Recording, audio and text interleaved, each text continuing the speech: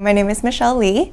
We are at the UCLA Clinical Microbiology Lab, and it's headed by Dr. Humphries. So I'm a hospital lab technician in research and development, and we have a lot of sponsor studies where they want their machines clinically approved by the FDA for use in like the clinical labs or drugs that want to be clinically approved to be used.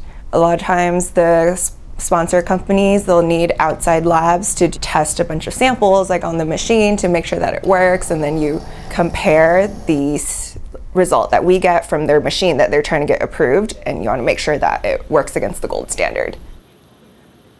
I grew up in Northern California in Cupertino where Apple started and I came down here to UCLA and I finished in 2014. I studied biochemistry.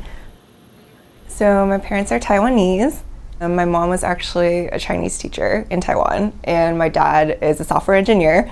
And I'm definitely not good at computers. And my dad, he always likes to tell me, like, I don't know how you became interested in science because I was horrible at chemistry, but I'm so happy that you're good at it. I always knew that I wanted to work in patient care. Um, so I volunteered at the Ronald Reagan UCLA Medical Hospital my junior year and my senior year. And it was really interesting because before you actually go into the hospital, you think, oh, like patient care, it's only like the doctor and then the nurse, and that's like it. But there isn't. Like, I volunteered in patient escort, and so there's a lot of volunteers, and we basically transport like the patients from like their waiting room to where they're getting an x ray or to where they're going to get their operation and stuff. And so, yeah, it just made me realize how many different components can go into healthcare, and I knew that it was something that I wanted to pursue. So working in the lab is definitely very collaborative because you, like my coworkers always support me and I always support them. If like I need help with something, they'll help me. If they need help with something, I'll help them. And so definitely like one person cannot just do everything by themselves.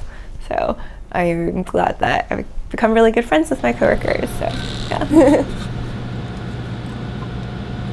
We're doing a study with another company where they're trying to get um, their products approved by the FDA to be used clinically. And so it's basically doing like sample prep on the big machine. And then when it's done prepping on the samples, I take the samples and put it on the separate, the Rotor-Gene, and it does PCR on it basically. It's a really fast way of identifying if you have that parasite in you and stuff. So